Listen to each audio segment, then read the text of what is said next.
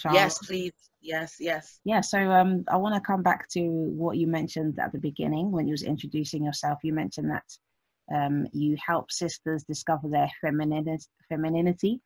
Um, so yeah, your can you explain energy. how does how does that work?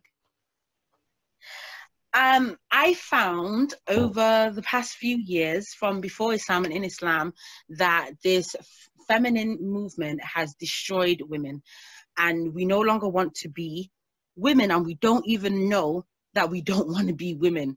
And the only way to be a woman is to imitate a man. Mm. And I've noticed like what I, what I noticed was people was just women were just failing by the wayside and I wanted to started to speak out to try and help women understand why they are what they are and develop it and also harness it and use that to enhance their lives rather than fighting your fitra to be honest with you. So one of the things i always tell a woman is this is something my grandmother told me and she always used to tell me go in water it come out flesh and bone. And yeah, that's what she said. and she was talking about obviously getting pregnant and mm-hmm. having a child, but she would always say it in the most random situations. Mm. Like, say if um, someone said a bad word to you and then you get really upset, she would say, Go in water, come out flesh and bone. And basically, what she was trying to teach you as a woman is that you will always grow what you are given. Right. And no matter what it is.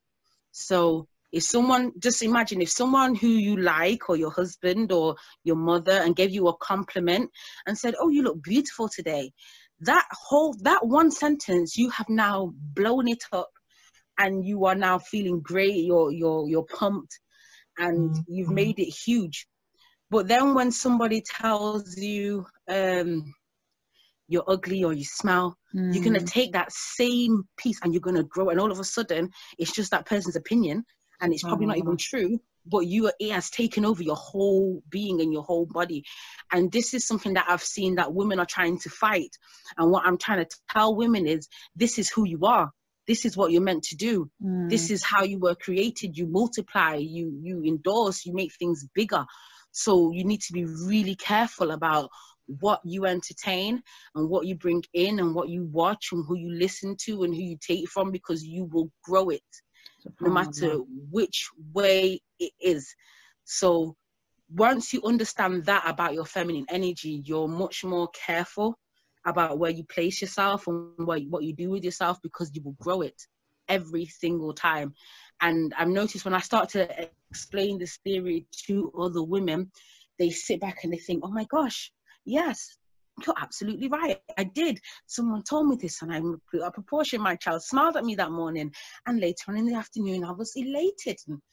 And when people start to understand that this is our natural state, this is how we are, you are much more able to enhance your life and use that knowledge you got to just bring about better things in your life and and stop being trying to be so you know, I'm gonna be a superwoman and I'm gonna go out and I'm gonna earn money and I'm gonna and then all of a sudden you're just trying to be a man. You're not a man, you're a woman.